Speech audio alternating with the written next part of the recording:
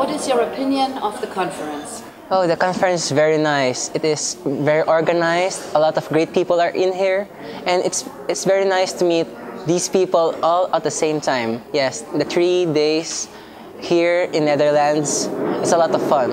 It allows us to be able to meet in person and share ideas, and also we're able to learn new things. There are a lot of workshops. There are a lot of activities for us to learn learn about more about our strengths and weaknesses and improve on, improve on those.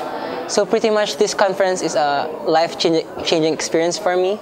There are a lot of challenges in the future and the things I learned here, I will pretty much be able to use them in the future. So I'm very thankful for Kaspersky to in inviting me to this conference. And in the future, if they will advise me again to participate in some activities, I might as well accept those. okay. Um, now you won the conference. How do you feel about that? Well, I was not really expecting to win, but since I think I did a pretty good job in the presentations, I think I knew I had a chance. And uh, the trip here to Netherlands is already a prize. Even even if they don't give me anything, the trip here to Netherlands cost will cost a lot of money already, and it's just a bonus to me.